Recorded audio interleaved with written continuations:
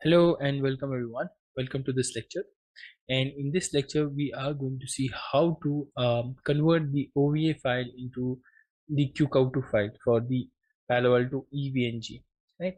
Uh, so I, I hope you have downloaded this file from the resources section, and there is a uh, I mean fold uh, and there is a link to download the QCOW2 file. Uh, if you click on this one link, uh, and then you can go and download this link. Now if this is slow and if this doesn't work um, what you can do is you can download this QCOW um, OVA file which uh, I, I hope you have already downloaded. You click on this and you go to the Google Drive and download this file. Once you have this file now I will show you the procedure to convert the OVA file to QCOW so that you can use that in the EVE-NG okay so here I have my EVE-NG running on my um, workstation and it's running on 192.168.199 which I have already logged in here right? And if I right click and press on node uh, you would see that the Palo Alto um, image is not there right? Um, so if I search on Palo Alto you see uh, it's grayed out. So we will see how to add this into the Palo uh, EVE-NG right? Uh, first thing first you need the WinSCP so let's go to uh, WinSCP and uh, you need to log in with the IP that you have on your EVE-NG mine is 199 and uh, just change this to SCP and use the root credentials which is um, root and EVE by default. Uh, okay so you are here. Now what you need to do is you need to go to um, the uh, folders which is OPT unetlabs add-ons and then QEMU. So this is the folder we have where you have to be. And right click and create a new directory called palo alto. And now it should be small palo alto and hyphen and 10 anything right? So this method would work on any ov of the palo alto okay? And create a folder like this. Now let me just um, show you the official uh, EVE-NG website. Yeah, here. And what happens is you need to go to uh, the documentation section and you need to go to how to and inside how to you would have the Palo Alto section, right? Uh, just to show you that they are showing this on um, image 7 and 8 but I have 10 and in future you might have 11 or any other uh, OVA file so you can use this method. Now what we did is they are taking um, I mean here they're asking you to create a folder called ABC and go into that folder.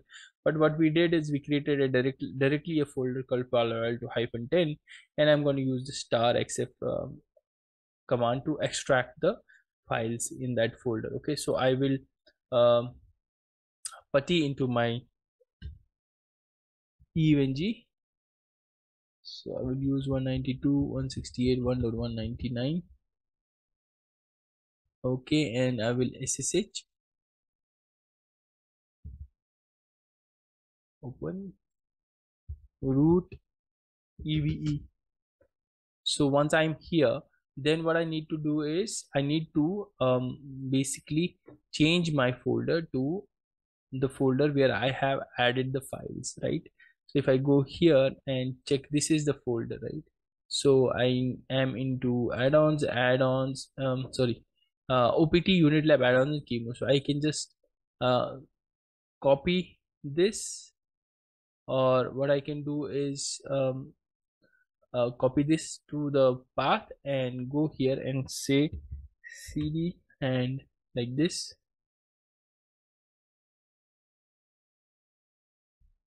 and I'm inside QEMU and if I do an ls there I will see two um I mean folders there. So I can go to cd palo alto this inside that I, if I do ls there is nothing there right?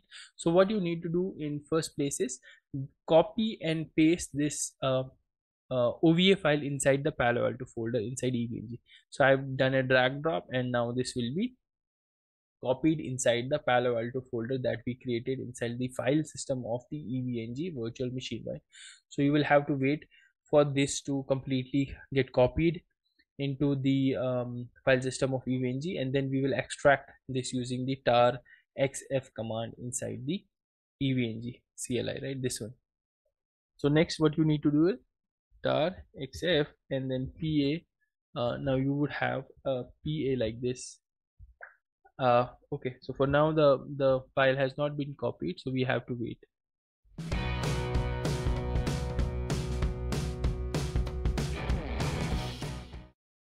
Okay so the uh, palo alto ova file has been copied here. You can see it here.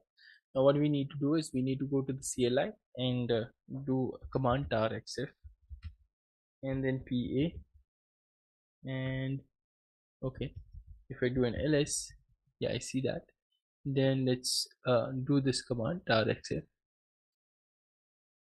copy this and tar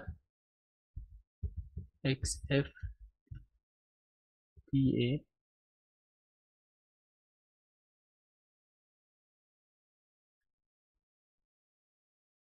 like this. So you copy this file name and do the tar xf so now uh, if you go back to WinSCP and go inside this and do a refresh you will see that the OVA file is being extracted like this. We need to wait till this is completed. And what we need is this vmdk file. Okay so let's wait for the process to complete. Yeah so this is complete. Now once this is done you need to copy this um, whole command from here till here. Let's say copy this and go to the CLI put it here and then you have the PA hyphen disk vmdk to virtual.qcow this one.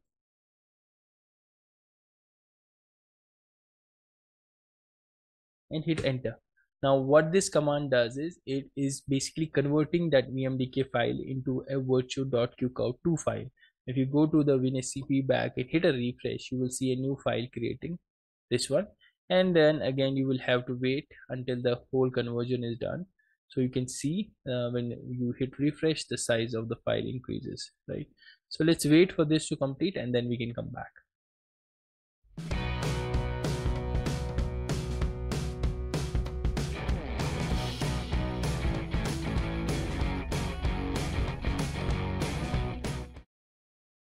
okay now once this process is completed you can go on and delete all these files from the system.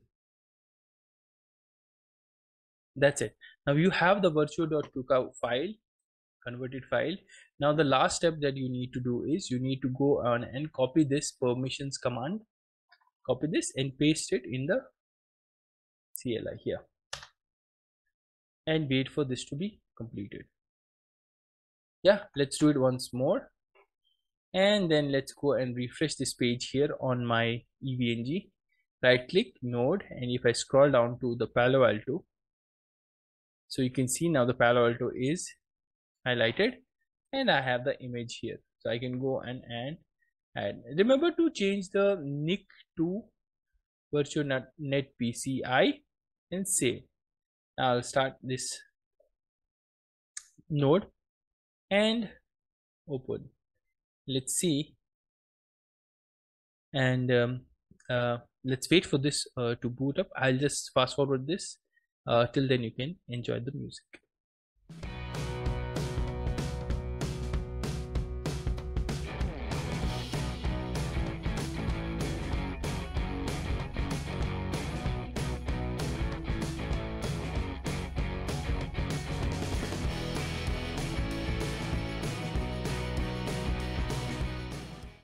so you will have to wait for some time before the um, the firewall initializes. Um, uh, you need to wait for the host name to change to PA PAVM basically. So let's wait. Okay now let's try. Admin. Admin. Admin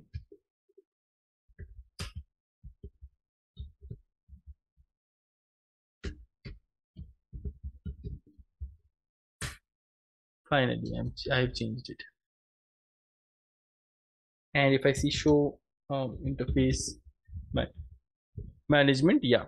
So yeah this um, uh, image is working. Now you can just connect a management interface and then you can uh, log into the GUI um, so hope this uh, video was helpful to you. Um, i'll see you in the next lecture